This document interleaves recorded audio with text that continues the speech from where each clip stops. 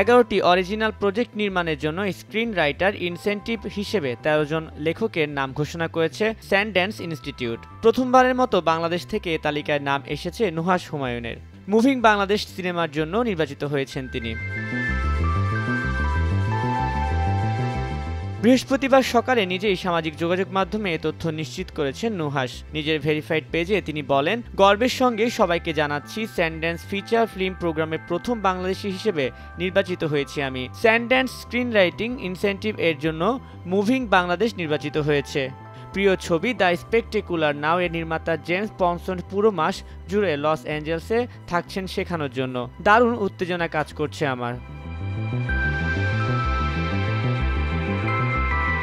নুহাসের তৈরি মুভিং বাংলাদেশ সিনেমার গল্পে দেশে রাইড শেয়ারিং অ্যাপ পাঠায়ে যাত্রা শুরু ও শহরে জীবনের গল্প থাকবে।